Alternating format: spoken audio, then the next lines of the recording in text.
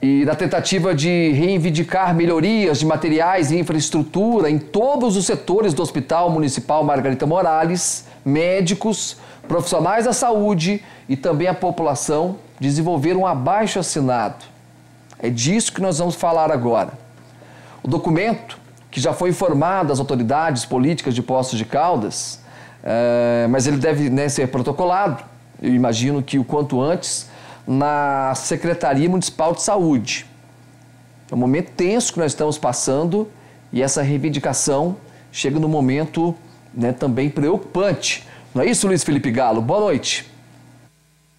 Este abaixo assinado já recolheu muitas assinaturas aqui em Poços de Caldas e tem como principal objetivo levantar melhorias para o Hospital Margarita Morales, localizado na zona sul do município. Quando eu trabalhei pela primeira vez, tinha pelo menos o laboratório. Hoje não tem nada, nem laboratório não tem. Quando eu falo não tem nada, lá nós não temos uma sala de emergência urgência, uma sala de urgência e emergência montada. Lá nós não temos uma sala de isolamento. Nós não temos um pediatra que precisa de um pediatra todos os dias ali atendendo as crianças na, naquela, naquele local ali, porque hoje o Hospital Margarita Morales ele está localizado numa, numa área que abrange, se não me engano, parece que 56.700 habitantes que residem ali naquela região.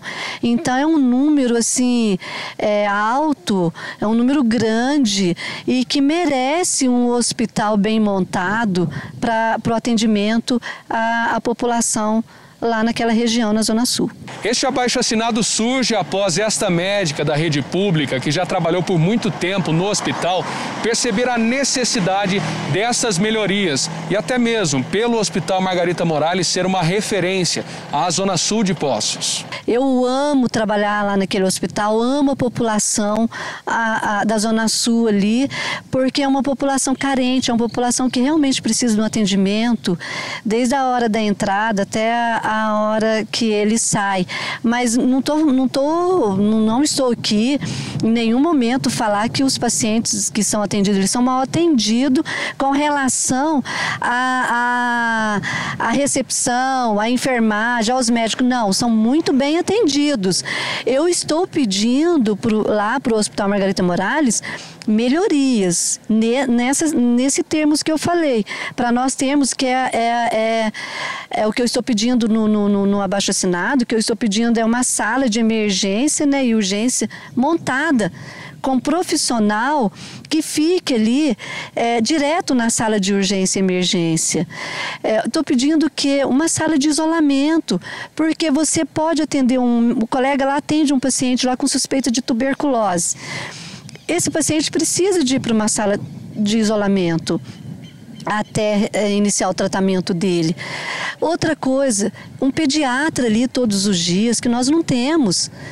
É, o que mais? O laboratório, que voltasse a ter o laboratório ali. Ela ainda ressalta que já tentou conversar com o secretário municipal de saúde, com o vice-prefeito, também com o prefeito municipal Sérgio Azevedo, porém não obteve nenhum retorno frente à situação do documento de abaixo assinado. O secretário de saúde está ciente desse abaixo assinado, o vice-prefeito está ciente desse abaixo assinado e o prefeito também está ciente desse abaixo assinado. Quero deixar claro também que eu não sou candidata a nada, não sou política e eu eu estou aqui somente para falar desse abaixo-assinado, para que ocorra melhorias no hospital, que hoje eu posso falar, que hoje, porque eu estou trabalhando lá novamente. Ela encerra ressaltando que ainda diversos desses documentos estão espalhados pela Zona Sul de Poços e por comércios aqui da área central, reivindicando melhorias para o hospital.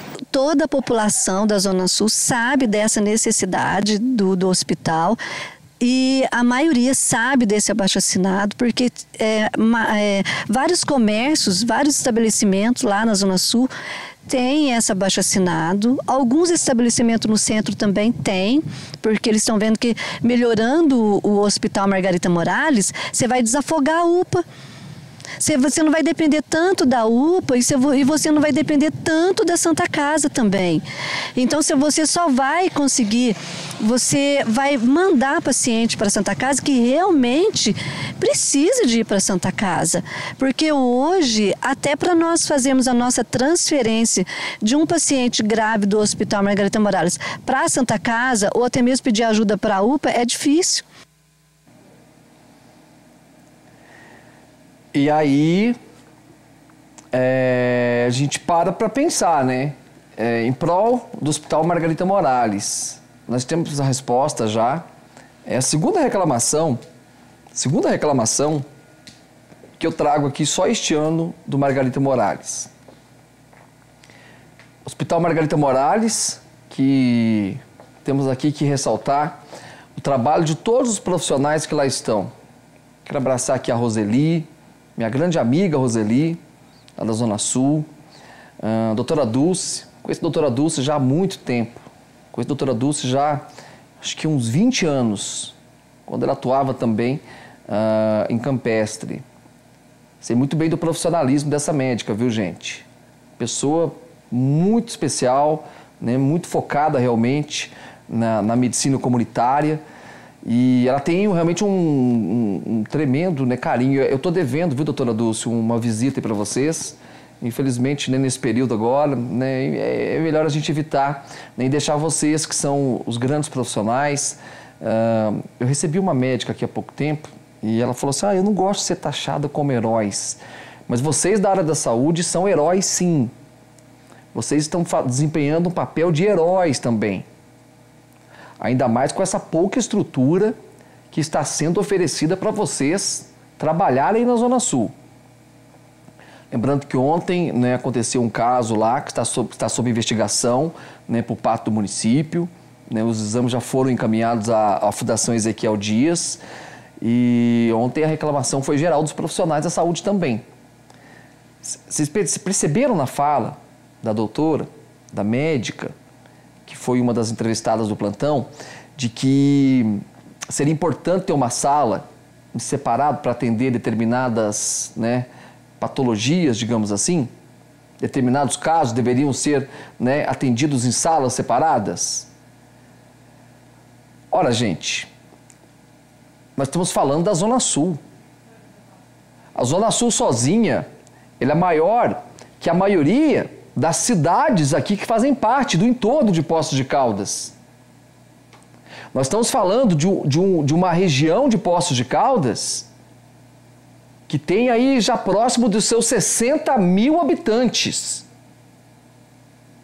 60 mil habitantes. Se não tiver, já está quase nisso. O pessoal sempre fala que é uma outra cidade, inclusive. E a Zona Sul é uma outra cidade, realmente de tão grande que é.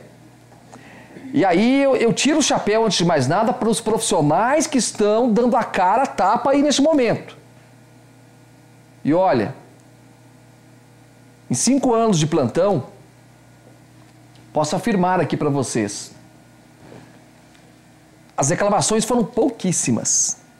Foram mais da questão estrutural. Porque o trabalho que é desenvolvido no Margarita Morales é um trabalho de se tirar o chapéu